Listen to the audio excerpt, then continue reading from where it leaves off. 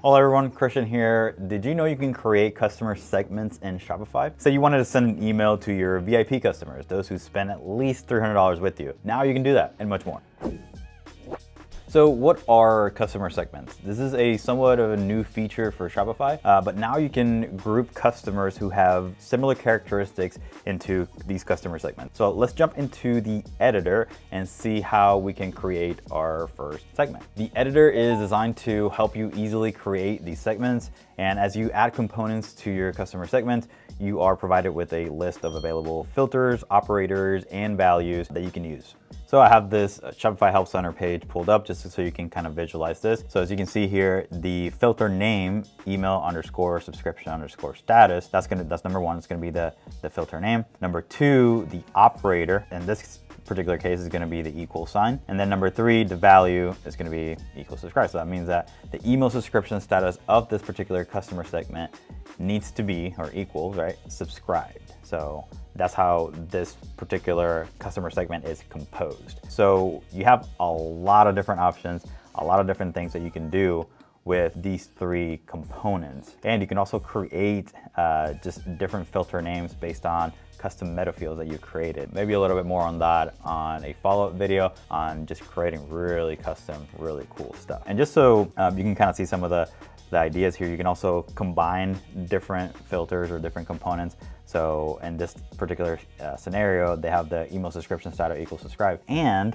the number of orders is greater than, uh, greater or equal than five. So again, there's a lot of different things that you can do and the and is called a connector as well. So the possibilities here are basically endless. Hey, now before we move on, I just want to say bienvenidos. My name is Christian Pinon, one of the co-founders here at Bit Branding.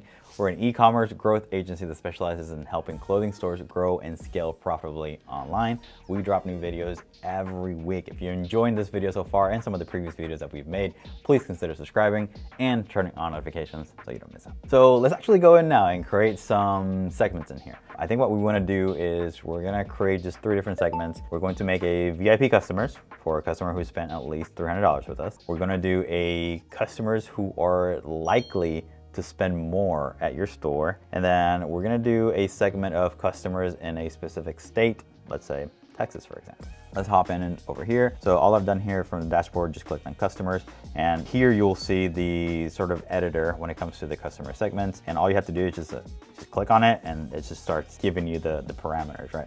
So the first one that we wanna do is the VIP customers who've spent at least $300 with us. So let's go and look at amount spent. And then we wanna do greater than, and here we put the 300. So there we have it. Amount spent greater than $300. We're gonna save the segment, segment name. We're gonna do VIP and we're gonna call it 300. Save. And then as you can see on the very top left-hand corner, you can see the VIP 300. You can also click on some other ones that um, have already been created. And obviously you can view all customers. So let's go to all customers. And then for this next one, we're going to do customers who are likely to spend more at your store. For this one, we're gonna click on here and then click on the predicted spend tier. And then we're gonna do equals high. So let's apply that filter. And all we're saying here is these customers are highly predicted to spend more with us. This is probably based on their shopping, uh, how much money they've actually spent, um, etc. Again, now we can see like 11% of the customer base is on this high predicted spend tier. We're gonna save that segment and do customers predicted spend more. Click save on that. All right, and for this last one, we're gonna do customers in a specific state. So for this one, we wanna do states or provinces. So it's gonna be customer underscore regions, and then we're gonna do contains. And then in here, it will give you all the regions and states that customers have already purchased from you. So uh, this would be a pretty detailed list. Um, it's just kind of weird that it doesn't show you in alphabetical order, but let's see if we start typing, okay, perfect, yeah, so Texas. If you start typing at least the, um, the name of it, it will start populating the, the correct one. So let's do apply filter. And as we can see here, we have about 7% of our customer base. Now, why would you, we want to have a customer segment for just Texas customers?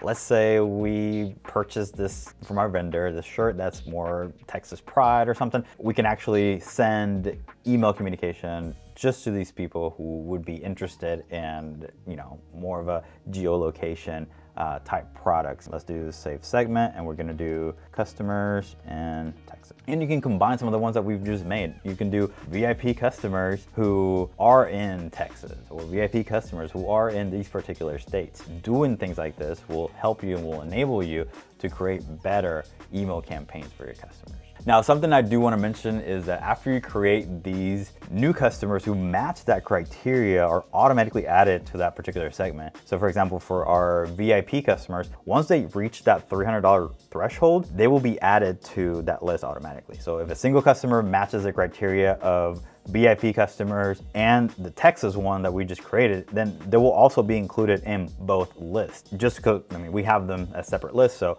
um, if they match those, they will be just added to each one of them. So on the other hand, if a customer no longer matches that criteria, then they would be automatically removed from that segment too. Hey, so we're talking a lot about customer data, segments. Uh, we're actually using a tool called Triple Whale for all of our clients and group coaching members. And this allows us to see lifetime value of a customer at 30, 60, and 90 days. But what we're most excited about is the estimated action of customers. Very similar to some of the things that we're talking about here. Imagine being able to send out emails or more than just emails like we're doing here, run ad campaign to customers who are likely to buy from you a second or a third time and knowing when to send these marketing messages. Super, super powerful. A little bit more powerful than what we're working with here. Triple Whale centralizes these metrics from all the tools you use. So Shopify, Facebook, Instagram, TikTok ads right into your pocket. They simplify, inform, and save you time. Make sure to check out the link in the description below. Now, how to actually use these segments after you created them. The Shopify email app is used to send email marketing campaigns to customers in a selected segment. So if you don't have the Shopify email app installed, then you're prompted to actually install it for the first time if you attempt to send an email campaign through Shopify. So let me show you how that looks right now. So if we are, right now we have the customers in Texas segment selected technically. So what we can do is we, we can just email segment. So when we click on that, as you can see, we don't have Shopify email installed necessarily, but it will tell you here that you get 10,000 free emails per month plus 1 per 1,000 additional emails. Now, if you don't want to use Shopify email and let's say you already have a platform and an app, maybe like MailChimp or Klaviyo, then you can do something like export that segment as a CSV file. You can export the segment, upload it to Klaviyo, and send that list. So super easy. Just right within here, when you click on email segment, you have the opportunity to do the export right here. Now you can also have the export button right over here. And as you can see, we have right now, because we have customers in Texas selected, it gives us the, the opportunity to just do that particular uh, customer segment. And you can do either CSV file for Excel um, or a plain CSV file, which is a slight difference. So you might want to check on your email provider, whether MailChimp, Klaviyo, on what is it that they accept. Is it the CSV for Excel or, is it the plain CSV file in order to make sure that you match those records and you're able to send some of the same campaigns. Again, these are not necessarily the automated campaigns that you would like, but these are going to be maybe like those one-off campaigns. Like I said, you just maybe have a lot of, you know, maybe Texas t-shirts or something, and you're trying to send it over to just people who live in Texas who spent this amount of money, then you can do that with customer segments. Now, we've kind of just scratched the surface when, when it comes to customer segments. Um, if you like to see a part two on customer segments and just diving a little bit deeper into the multiple components and maybe diving a little bit deeper into how to do the, the actual emails through Shopify email, then let us know in the comments below and we'll see you on the next one.